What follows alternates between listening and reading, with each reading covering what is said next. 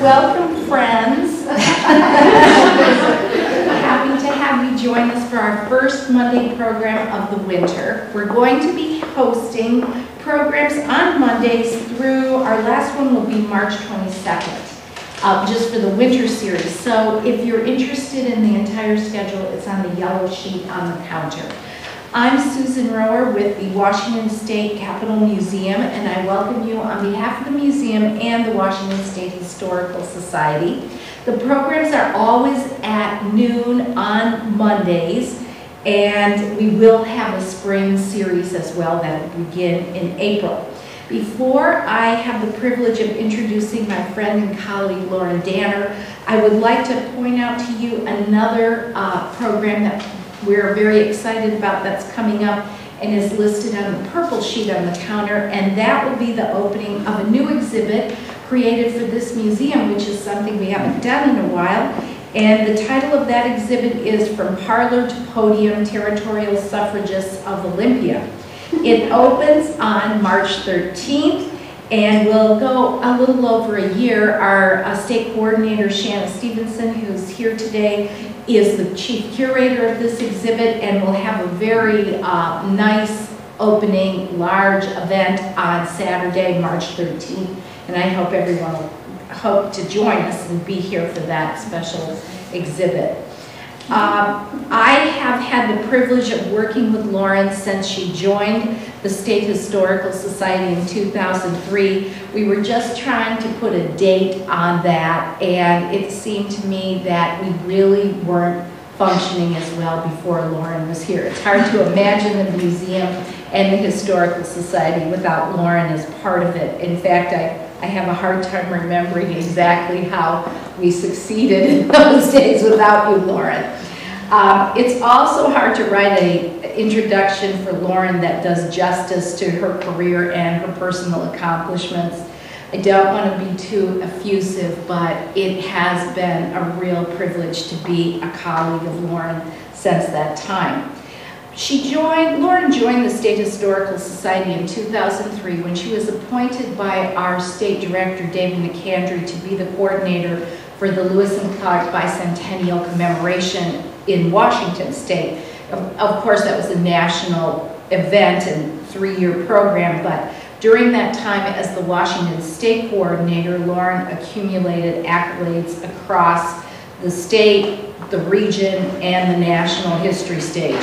During the bicentennial, Lauren calculated she probably put 30,000 miles on our state car in three years, I put down that you made your own version of the trail crossing in Washington and assisted on programs from uh, the Tri-Cities to Pacific County.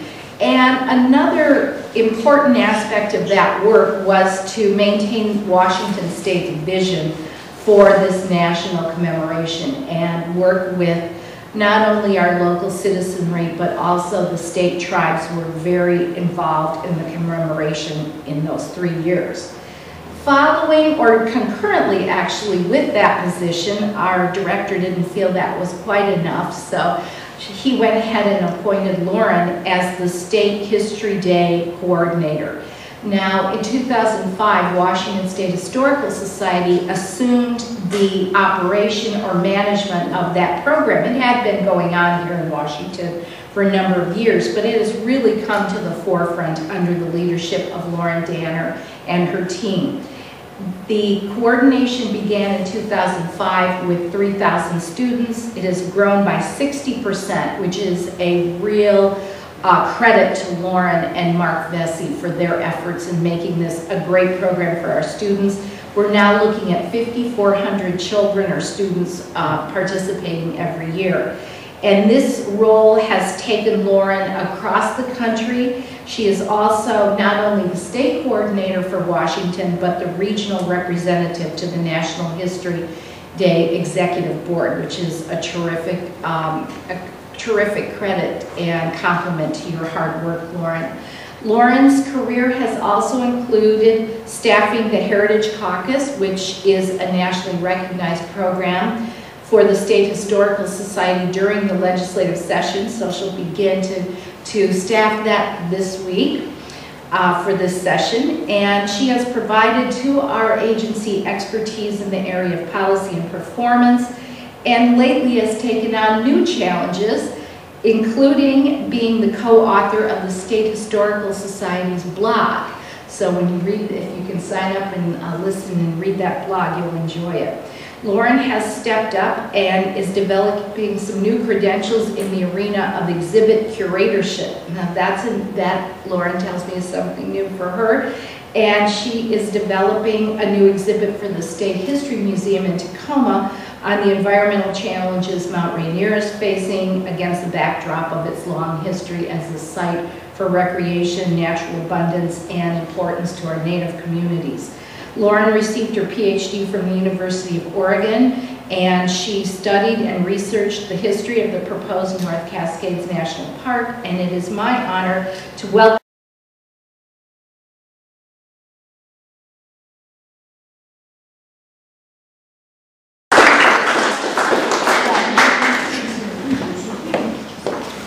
Um, I, there's just no way I can live up to that introduction at all. so um, I did want to thank Sue and the State Capitol Museum for inviting me to speak, and Mark, who's out with the cash box, for um, helping with the maps that you will see here. I'm not a professional map maker, and so these look a little hand-drawn. That's because they are. Um, the research that I'm going to present today was um, first published in Columbia Magazine not the most recent issue, but the one before. And if you, at the end of the day, feel like you need even more information on Ice Peaks National Park, we have Columbia's for sale back there.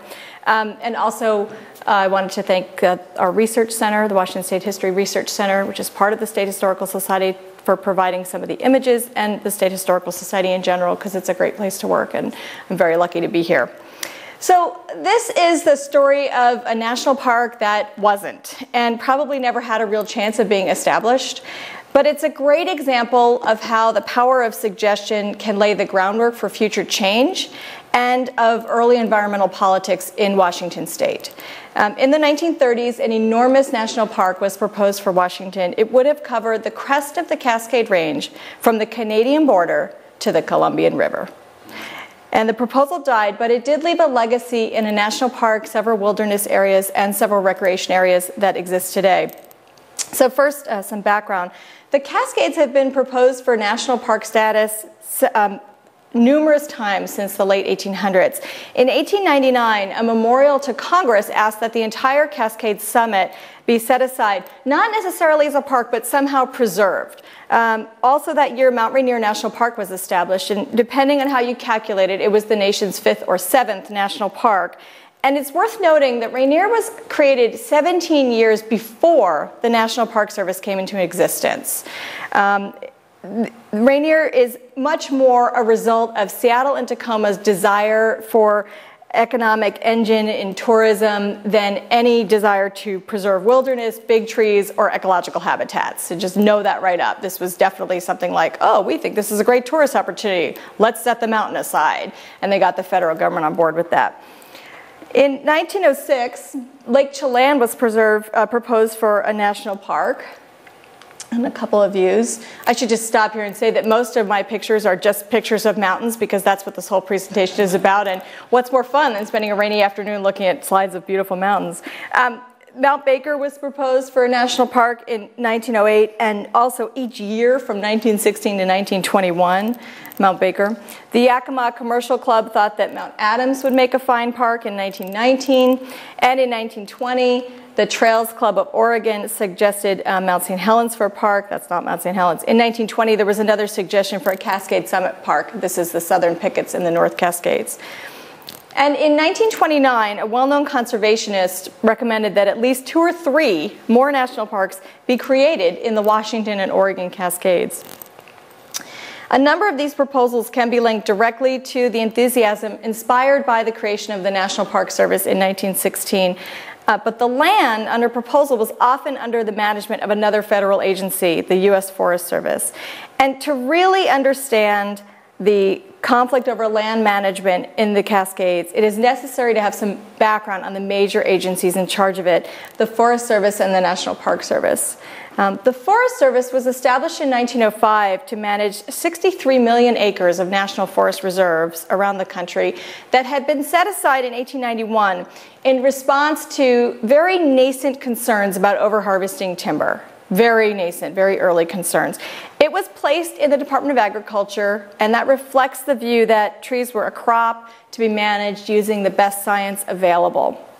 And this is where the phrase, the greatest good for the greatest number in the long run originates. And the Forest Service used the principle of multiple use in its management. And what that meant is that forests were seen as having multiple purposes economic, utilitarian, recreational. In principle, any given forest according to the Forest Service, could be used simultaneously for timber, grazing, recreation, watershed management, and so on.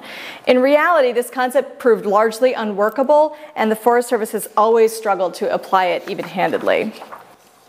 Um, the other important thing to know about the Forest Service is that the way it was set up, it was decentralized with decisions made by local foresters who were usually hired from the surrounding communities and benefiting the local economy was of paramount importance in forest management. The National Park Service, on the other hand, was created to centralize management of an ever growing number of national parks and monuments. And you've probably all seen the PBS special or series or part of it. So maybe this is not going to be news to you anymore. Uh, but its first director, Steve Mather, used really slick advertising campaigns to bring people to the parks and to generate political support. He himself was a CEO of a very successful business. He understood marketing nationally, and he used all of those tactics to bring people to the parks. Um, his goal was simple, his tactics were effective make the national parks America's playground. And he worked with the railroads to bring people to the parks. And these are some uh, brochures that were published by different railroads to get people to the parks. These are all Northwest parks. Um, and with the rise of the automobile, he pioneered the notion of putting roads through the most scenic parts of the park. So when you go to what people call a crown jewel national park, like a Zion or a Bryce or Yosemite, you know, you'll often see there's one or two roads that go through the most gorgeous areas of the park. And that was very intentional on Mather's part.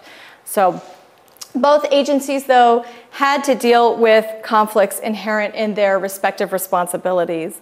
The Forest Service was supposed to manage the forest, but public pressure led the agency to start setting aside certain areas for recreation and scenery as early as the 1910s. Um, and the Park Service's mission was to both preserve superlative natural areas on the one hand and at the same time make them accessible to the public. And that has constantly led to friction in the national parks about what gets preserved and what is, make, is made accessible. Um, by the mid 1920s, these agencies wielded roughly equivalent political clout. The Forest Service's main concern at that time was the removal of forest lands to be made into national parks. And the Park Service was actively looking for forest lands to convert. Um, a gain by one was a loss to the other. So the Park, Park Service's preferred tactic was to ask for an enormous chunk of land, then settle for less, but still get some. And then a few years later, it would ask for another huge chunk, and then it would get some. So that's, that was their tactic at the time. And the Forest Service tried to preempt this by setting aside lands in all sorts of designations. Um, they called them primitive areas or recreation units or wilderness areas. But these were purely administrative, and they could be undone by the director of the agency or even by the regional foresters. So, the things that we think about today when we think about the Glacier Peak Wilderness Area or the Henry Jackson Wilderness Area, those are wilderness areas created by an act of Congress, 1964 and later. And this, the wilderness areas I'm referring to here the local forester could say, well, we'll just set aside that land for a wilderness area, and we just won't allow any logging or anything in there until I decide differently. Um, the Park Service used that approach, used the Forest Service's approach to its advantage because national parks are established by Congress and, can, and signed into law by the president. They're very difficult to undo. Only a handful have ever been undone. Um, and that pleases preservationists and dismays natural resource constituencies. So that brings us to the New Deal, which is where this story really begins.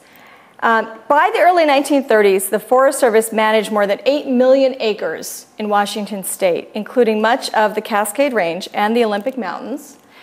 And we all know that, um, excuse me, and the surrounding forest lands. This is uh, Mount Olympus, and at the time there was a national monument at Mount Olympus just called Mount Olympus National Monument. It was managed by the Forest Service. Um, we all know that all of these valleys um, that come down from the Cascades and the watersheds include some of the richest timber stands in the world. The National Park Service had its toehold in Mount Rainier National Park, but that was it. As noted earlier, other mountains had been proposed for park status, but nothing came of those suggestions. So in 1933, President Roosevelt created the National Resources Board as part of his New Deal reforms. Um, the board was charged with conducting a land use planning study for the entire country. And it recommended that several areas be studied for possible national park status, including the entire Cascade Range in Washington and Oregon. At the same time, the superintendent of Mount Rainier National Park, who's a very experienced Park Service man um, named Owen Tomlinson, was quietly urging his superiors in Washington, D.C. to consider the, quote, outstanding snow peaks and certain rugged wilderness in the Cascades for a five ice peaks national park. That same year, 1933, an executive order transferred all of the national monuments in the United States to the National Park Service, including Mount Olympus. The Forest Service, in one fell swoop, lost millions of acres of land and administration over dozens of sites. Many of those were in the West. Um, at this point, in Washington, the Forest, Forest Service has these primitive areas, or these areas set aside for recreation. The Whatcom Primitive Area which is um, essentially the North Cascade slide there, which was between Mount Baker and the Skagit River, about 175,000 acres of some of the most rugged land in Washington state. Very difficult to get to. The Glacier Peak Cascade Recreation Unit, which was all above timberline, about 235,000 acres, all above timberline, no forests included at all the Goat Rocks primitive area down by Mount Rainier, about 72,000 acres. And all of those three were created in 1931. And they also had the Mount Baker Recreation Area, which was created in 1926 in direct response to a proposal to make Mount Baker into a national park. Like, oh, you think you want this for a park? We're going to make a recreation area, and we'll set up some skiing and stuff there. Um, but even within the Forest Service, some warned about the agency's half hearted preservation tactics, noting that the primitive area boundaries leave out every stick of second grade subalpine timber, leaving nothing but the barren mountaintops, and exclude everything that could ever be used for anything else. So they were really just all above timberline there. And what's left, they call the primitive area. So the Forest Service report on their, their own survey recommended that the Whatcom primitive area be expanded from um, 175,000 acres to more than a million acres. And this would have been right at the Canadian border across the North Cascades. The report said there is growing sentiment among a, num- uh, among a considerable portion of the general public which demands the setting aside of primitive areas at all possible points. Although the regional forester was very reluctant, the Whatcom primitive area was expanded to about 800,000 acres in 1935 and renamed the North Cascade primitive area. So at the same time, it's important to note that all of this is happening well before the Forest Service becomes what I would call an active timber manager. There are plenty of private timberlands in Washington state in the 1930s, and they're all being merrily cut. The, at this point, the Forest Service is still really in its custodial uh, phase, and I just like these pictures because you just forget how big these logs were that were being taken out.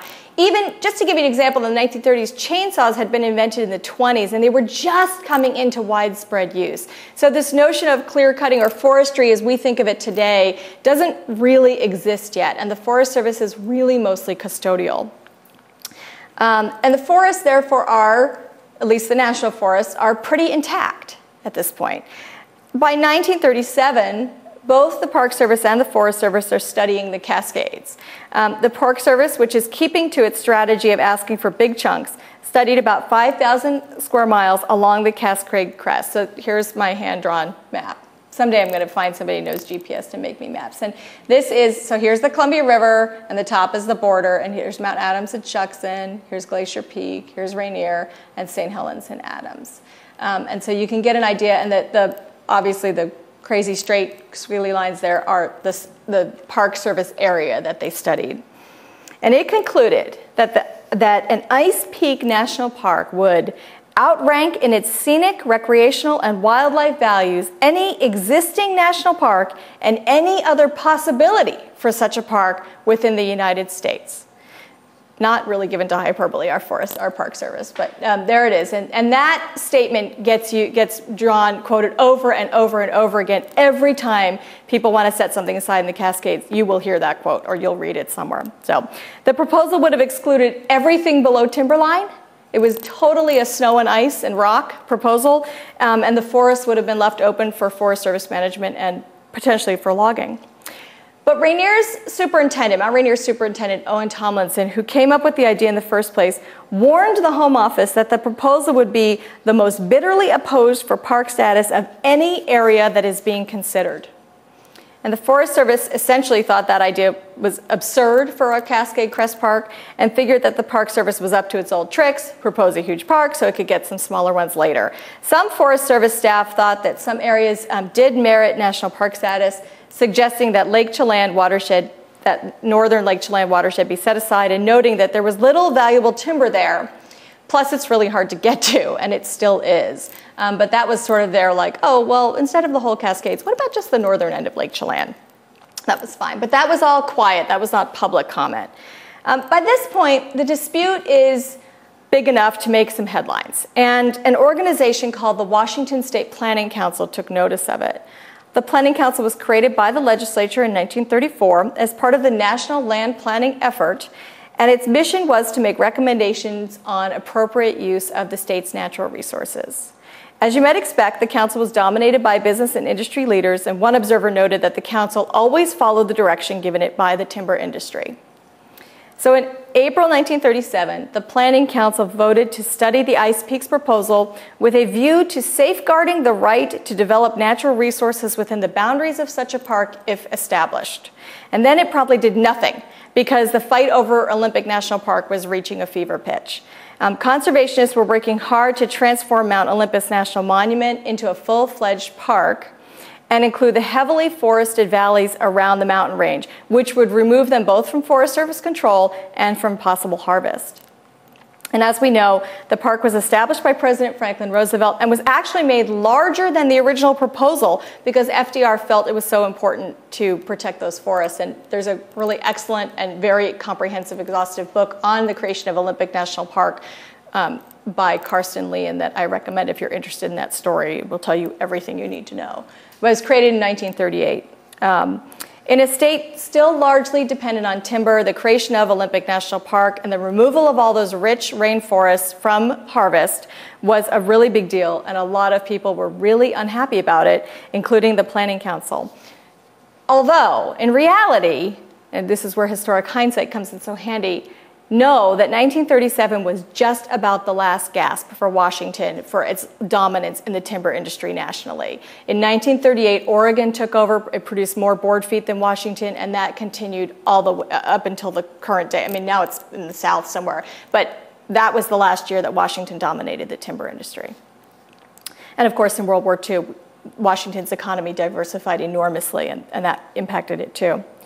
So many, including the Planning Council, many people resented what they viewed as heavy-handed tactics by the Secretary of the Interior, who was in charge of the National Park Service, um, Harold Ickes, whose department um, included the Park Service, and during the New Deal, Ickes, um, who thought big, pushed hard for a new Department of Conservation, and he wanted the Forest Service transferred to his new department. So he just wanted all land management agencies.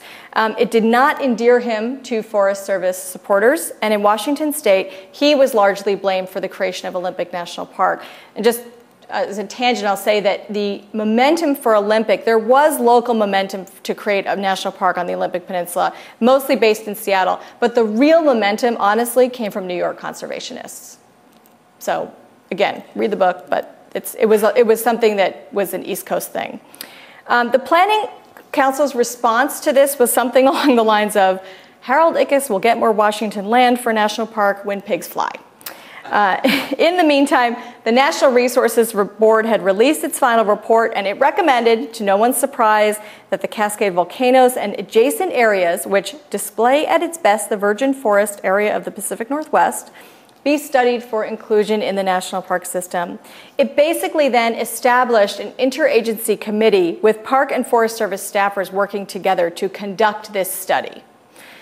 You can already see how that might have turned out. Um, the heads of both agencies ordered their staff to make no public comment, pro or con, about the study or any park proposal, but plenty of private conversations occurred, and there's great um, in the archives and there's uh, and at the state library. There's great letters back and forth among people. Um, the committee invited this interagency committee, then invited the planning council to participate in its study, um, and it accepted that invitation while it continued its own larger investigation.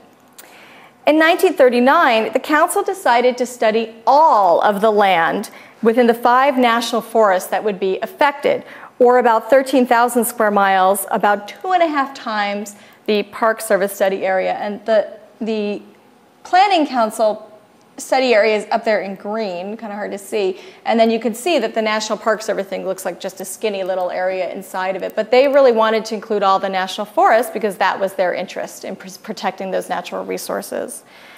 So they held hearings in Tacoma, Ellensburg, Wenatchee, Yakima, Bellingham, and Longview, all timber towns. And Seattle, which was the center of the pro-Olympic park movement, was glaringly excluded. Representatives from timber, mining, winter sports, grazing, game testified at every hearing repeatedly against any park along the Cascade Summit crest, and Olympic was repeatedly and bitterly invoked as an example of what happened when effete Eastern nature lovers had the ear of the president. So no one wanted, and no one really at these hearings wanted more land removed to federal management. This is one of the interesting things you read in these hearings testimony is everyone says, we don't want any more land under federal management. Well, all of the land already was under federal management by the Forest Service. But remember these differences in agency style. The Forest Service was locally managed, locally staffed, decentralized. It didn't feel like the Park Service, which felt like a big federal bureaucracy run by Washington, D.C. insiders. Newspapers uh, gave the hearings heavy coverage, editorializing against the lockup of more natural resources and warning of dire economic consequences for the state. And pretty much only one group was for the proposal, um, something called the Northwest Conservation League. And this was a local chapter of a national group that had fought tenaciously for Olympic, which didn't exactly give it credibility in that crowd. Nonetheless, the league suggested that the park could allow mining to appease resource interests. And you see this again and again in these park proposals. People want a park and they're willing to give up a lot of what we think of makes a national park in order to get the park in the first place. So they were saying, well, you could mine there, that'd be fine. That wouldn't be invasive. Um, but nonetheless, uh, it also suggested that timber's dominance was waning, and it was correct, and that new economic drivers needed to, to be developed for the state. Um, the cachet of a national park would attract tourists. Another very consistent argument for creating new, new parks. Um, that argument just didn't hold water with either the council or its constituents. So finally, in 1940, the Park Service submitted its report on the Cascades. It recommended that since the Forest Service already had about 1.8 million acres either reserved from multiple use or planned for reservation for multiple use, those areas should be converted to national park status. And they were the North Fork Nooksack Natural Research Area, which was only 1,500 acres. Uh, the Mount Baker Recreation Area, which was created in 1926 and was about 82,000 acres. The North Cascade Primitive Area, which was, had been created in 1931 and expanded in 1935 to about 800,000 acres. The Glacier Peak Limited Area, which had been created in 1931 and then was expanded in um, 1940, but it hadn't been expanded at the time of this proposal. The Naches Pass Highway Corridor over Mount Rainier, and the Goat Rocks primitive area, which was about 73,000 acres. So they, they thought 1.8 million acres of land that was already been set aside by the Forest Service had planned for set aside, but they also thought that they should add to that um, Mount St. Helens, before pre-eruption obviously, Mount Adams, Mount Stuart, and the northern end of Lake Chelan. Were, that all of those areas were worthy of national park status. And it suggested that mining could be allowed in many of the areas to mitigate economic loss and that 25% of park revenues should be returned to adjacent counties. the Mount Rainier superintendent privately suggested using recreational development at Grand Coulee Dam as a bargaining chip too. So the dam was built and they were figuring out what to do on Lake Roosevelt behind it. And he said, well, we'll give you Lake Roosevelt if you give us the Cascades. Um, it was a really far cry from that original long proposal in the Cascades, although still several million acres, and it put the Forest Service in an awkward position because it now had to reject some of its original glowing assessments about the areas under its jurisdiction. So the Forest Service now said that except for the volcanoes, quote, the summit country is scenically dull, uninteresting, and reputedly much inferior to large areas elsewhere in the West. Plus, it was too remote and the lands contained valuable timber and mineral resources that, although hard to reach now in 1940, would become more accessible as technology became more advanced. And finally, the Forest Service played the local card, saying that since the areas were already being managed appropriately, why go through the hassle of adding another layer of federal bureaucracy? A few months later, the Planning Council released its report uh, in June 1940, and it published a summary version as a pamphlet and also five, at least 5,000 copies of the full report. And the, both began the importance of the Cascades to the economic well being of the state is self evident. And the rest of the documents were given over to praising the Forest Service and expounding against a national park. Um, the council prepared a radio script that was broadcast on local stations around the state. It sent the report or the pamphlet to newspapers, chambers of commerce, teachers, county governments, banks, businesses, granges, pretty much anyone it could think of that would support its um, position. And that was a majority position. The Park Service reacted quite frostily, noting that the Planning Council report contained none of the material given it by the Park Service and saying that the council's much larger study area was misleading because the Park Service never wanted all the forest to begin with. To no avail, it didn't matter because the council's report generated statewide support. Hundreds of letters were sent in support of it, newspapers praised it, and so on. And then Secretary Ickes, uh, Ickes, he of the Department of Conservation proposal, disavowed any knowledge of a proposed Ice Peaks National Park. He instead, he said the area was only under study. And given that he had been receiving regular updates on Ice Peaks for two years, he had seen a draft bill to create it in 1939 and had received internal, an internal memo about public sentiment against the proposal a month earlier. This was disingenuous at best, but it's politics, and we all, we all know what that's about. So, given that its own chief had professed ignorance and confronted by a public that was strongly opposed, the Park Service backed off. And you would think that it would have ended there, but it didn't. In 1940, mid, in the middle of the year, right after all this uh, kerfuffle, Mining World magazine published an article that skewered Ickes and the Park Service for their ambition in the Cascades and asked, should conservation serve or only save? The magazine was owned by Miller Freeman. Um, he was a member of the Planning Council and he was a prominent figure, figure in the state's mining industry. Um, he wrote that the council's study findings were applicable in all western states and especially those where National Park Service objectives threaten to remove natural resources from their proper use. So Secretary Ickes, who is known for his explosive temper, wrote an irate reply to Freeman's magazine that called the council's study 56 pages of nothing new, reprimanded it for downplaying the National Park Service's stated willingness to allow mining in the national park in the new park, which never made it into the council report, and um, Ickes also excoriated Freeman for his support of the Forest Service's multiple use concept, saying that it was meaningless, didn't, it, it didn't work. So Freeman replied, he printed his letter and Ickes' letter in the next issue, and he replies, frankly, the people of the West have no faith in the National Park Service.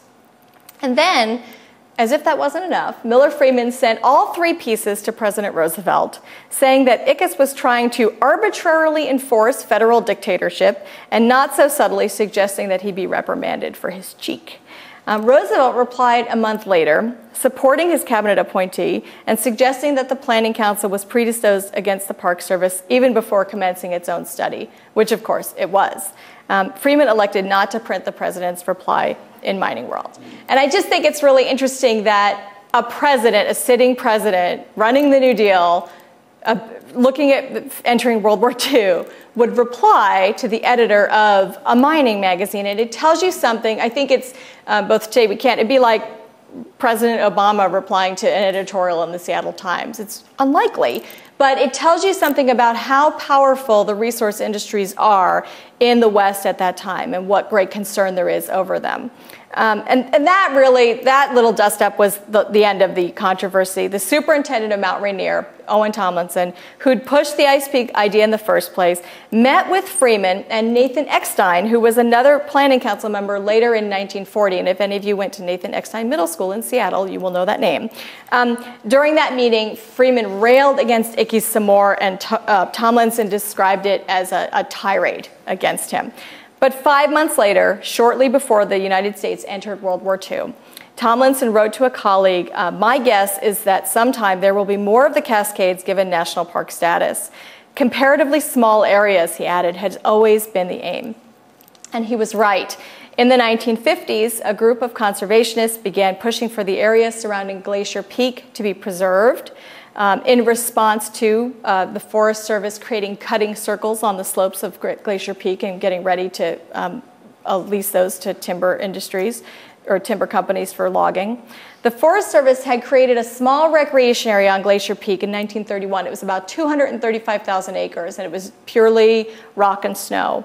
Um, and in 1939, Bob Marshall, who was the Forest Service's director of recreation and lands, but who most of us know as an ardent conservationist and the co-founder of the Wilderness Society, Marshall recommended expanding um, the Glacier Peak area to almost 800,000 acres, both to preserve the wilderness, but also to preempt the, the Park Service. He was very clear about that. But he died before that goal could be realized. He actually um, died on a train home from visiting the North Cascades in, in 1939, uh, I believe unusual. And in 1940, the, the Forest Service authorized a somewhat larger Glacier Peak limited area of about 350,000 acres. And in the 1950s, conservationists proposed adding some of the excluded river valleys and expanding the area to about a half a million acres. The Forest Service responded to that proposal with a slightly larger proposal of about 425,000 acres. And that proposal gave birth to the term starfish wilderness or wilderness on the rocks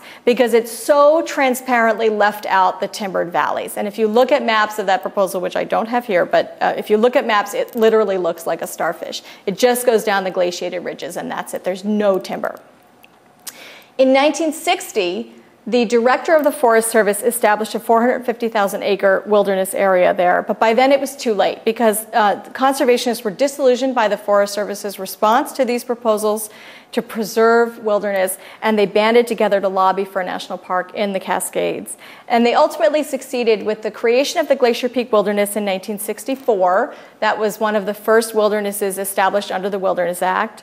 Um, the North Cascades National Park Complex in 1968, and multiple wilderness areas created since then, including the most recent, uh, the Wild Sky Wilderness areas. And I, this slide is really interesting. It's a it's public lands in Washington in 2007 pretty much everything in green on that map is federally managed. And what's maybe interesting, more interesting about it is that the amount of acreage of federal management in Washington hasn't changed all that significantly in a century. Who manages it has changed. Is it Park Service, is it the Forest Service, is it BLM, is it USGS? But that is pretty much what it's looked like. There's been a little bit of expansion out into the, into the valleys, but I think it's an interesting slide. And of course, Hanford and stuff wasn't, that, that's pretty new. It's always, um, federal government has always had an enormous presence in Washington state in managing its lands. So Ice Peaks, though unsuccessful, does have a few things to teach us. Um, it failed in part because of residual anger over Olympic National Park, which many viewed as taking valuable timber out of production, and it did that. Um, it also failed because the Park Service could not compete with the Forest Service for the affection of Washington citizens. The decentralized bureaucracy of the Forest Service encouraged close relationships between the staff of a given forest and those in the surrounding communities. And when the chips were down on ice peaks, the Forest Service used those relationships to its advantage. In fact, after the Planning Council released its report, the chief of the Forest Service, who's based in Washington, D.C., wrote to the director of the Planning Council Our respective organizations have so much in common so many similar objectives and ideals that any type of relationship other than the friendly and cooperative one which now exists would be quite unthinkable. That relationship did remain close, but public support for the Forest Service eroded over the next two decades, paving the way for the Park Service to try again in the Cascades, this time successfully with North Cascades. Thank you.